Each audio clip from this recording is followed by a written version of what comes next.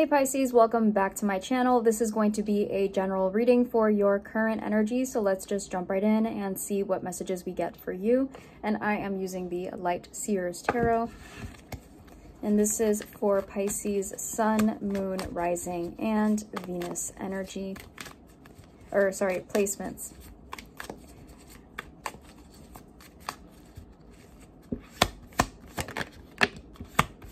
Wow.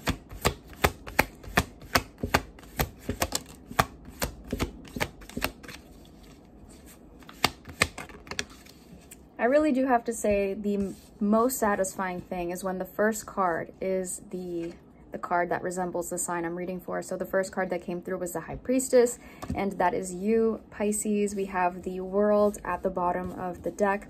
So it feels like there could be something very um, very life-changing or very um, important or significant that you're navigating at this time. And it feels life-changing because if you think about it, everything that we go through, even the small things, change our life, right? Every day we experience things that will never make life the same. And I feel like right now you are embracing that in a very um, specific sense and maybe even in a personal sense where it feels like you're still trying to understand why something is happening or you know, what it's meant to be for, what is the true outcome or the true nature of what I'm going through. So with the world, it feels like a lot of things are starting to change for you at this time, Pisces, but I feel like right now, your main thing is you're trying to understand it. You're trying to make sense of it. You're trying to figure out you know, the, the kinks. You're trying to see how it all fits together. Maybe this is with relation to a connection, a relationship, maybe your career, maybe your life path right? It's like you're really trying to understand what it all means, or maybe you're just simply asking yourself existential questions right now and you're saying, what is, the, what is the meaning of life? What is my purpose in life? So a lot of things are coming through here, but it feels like with the world and then the lovers at the bottom of the deck, um, which is Gemini, maybe right now there is something that you feel very close to, but you're trying to understand its true significance or its true meaning for you we have the Eight of Swords, Seven of Pentacles, the High Priestess, and the Six of Wands. So it's interesting, we're seeing six, seven, eight, right? It's kind of like we're seeing all those numbers. Um, it's like a succession, right? So it's like something is happening one after another. And I feel like with the High Priestess, with the energy of your intuition, you're kind of like, okay, that happened, then that happened, and now this. What is that supposed to mean? I feel like you're listening to your intuition. You're following your gut feeling. But I also feel like maybe we need to pick it apart to not make it so, so complicated, right? I feel like maybe right now it feels confusing. Um, so let's see, we have to go ahead and first clarify that Eight of Swords because it's the only card that stands out because it doesn't really match the rest of it, right? Maybe with the Seven of Pentacles, there's a little bit of doubt or, you know, maybe, you know, wondering if something is really going to grow right from the seed that you've planted, but that Eight of Swords is the only card that really resembles discomfort, frustration, pain, right? A feeling of being, you know, strangled or suffocated. So let's see what is that about.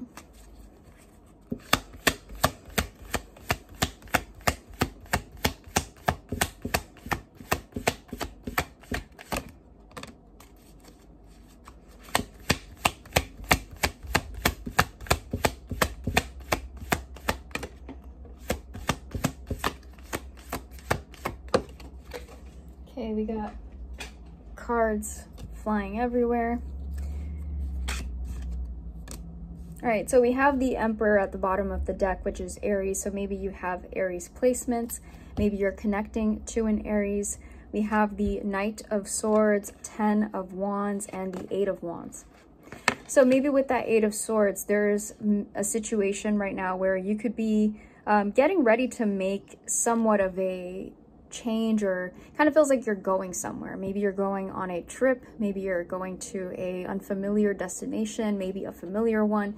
Um, and it kind of feels like you're getting ready to do this. You're preparing for what feels like a journey. I feel like with the Eight of Wands, you could be getting a lot of information, maybe communication from the universe. Maybe you feel as though this is where you have to go, right? It's kind of like this is part of your calling. And maybe with that Knight of Swords, you're kind of, you know, feeling as though you have to keep chasing this. Otherwise, you know, you feel like maybe you're going to lose time. You know, it kind of feels like there's a lot of, of thinking going on where it's like you're putting all of these things um, into perspective. And maybe that Eight of Swords is you feeling as though something is escaping you, right? And, and I'm being, you know, kind of told here to think about the actual card itself and the fact that, you know, she, the actual person here, isn't tied up or anything, but the reflection that she sees in the mirror is, right? So it's almost like there's a difference between the reality and then the perception. So I feel like the universe wants to, you know, almost help you liberate that, liberate the, the perspective that makes you feel as though you're not free to do what you wanted to do. You know, it's kind of like there's something about you getting ready to, to go on this trip. I mean, you've got uh, everything that you need. You know, you're, you're, you're chasing something, so you really want it, right? This is about you saying, I'm not going to stop until I get it. And then that Eight of Wands, you could be receiving a lot of confirmation, reassurance, signs, right? Downloads from the universe. And behind the Emperor is the star. Then it is death, which is Scorpio. Then it's the Eight of Pentacles. Then it's the moon kind of like there's something telling you this is what you need to do. It's like even despite the unknowns, you know, there's there's work to be done here. There's a rebirth, right, waiting for you. And then the star. It's like there's something really, really big about this and how much it can change your life. So I feel like the universe doesn't want you to feel as though you are tied up or restricted or, you know, maybe you, you have like imposter syndrome, right? Maybe you feel as though you're not really ready for this, but I feel like the universe is saying you are Pisces. You just have to, you know, kind of reframe your thoughts a little bit. Let's go ahead and clarify the High Priestess.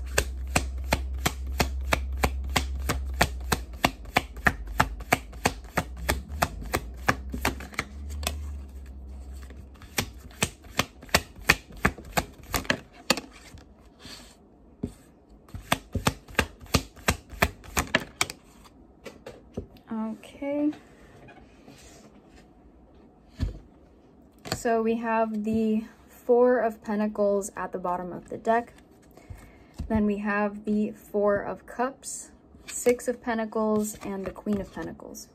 So maybe right now your intuition is trying to um, guide you towards a decision that may be related to your finances, right? It feels like maybe right now you're trying to decide whether or not you want to make an investment on something, whether or not you really want to take something the next step um, further. Because I feel like with that Four of Pentacles, you're, you're kind of contemplating here with this energy of maybe I need to keep this to myself. Maybe I need to wait until I have a little bit more or, or until I feel more secure or stable to share some of these pentacles with, you know, whatever it is that you're you're thinking of giving to or investing in right? And behind the Four of Pentacles, we have Temperance, which is Sagittarius. So maybe you're, you're also considering giving yourself more time. So with the Four of Cups, I feel like this is you really thinking about it. You're not about to make any kind of impulsive decision because that's not really something that you want to do, right? You want to give yourself time to really think about it. And I feel like with the Six of Pentacles, maybe what you're trying to make a decision about or invest in has the potential to give a lot back, right? Maybe there is a huge return of investment um, in this. But right now, with the Queen of Pentacles, I feel like you need more certainty. You need more clarity, right? You're looking for just a little bit more of that reassurance. All right, let's clarify the Six of Wands.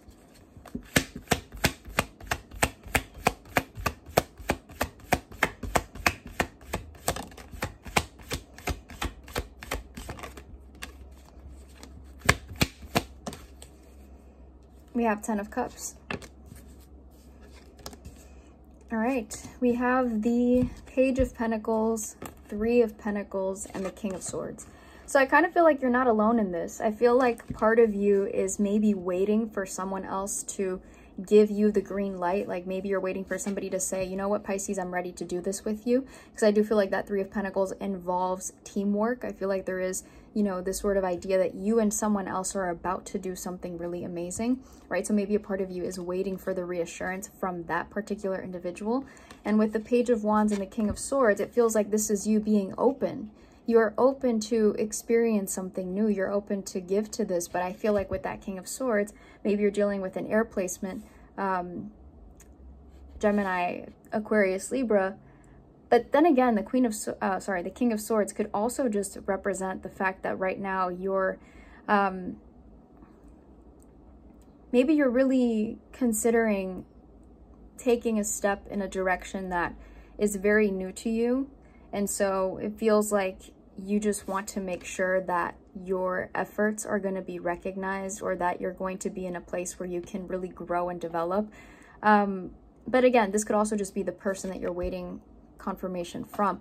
You know, it's kind of like I'm in a slump here because I feel like the Page of Wands is representing the fact that right now you don't want to limit yourself from doing something. It's like you want to go and make this happen, right? You want that success, you want that recognition.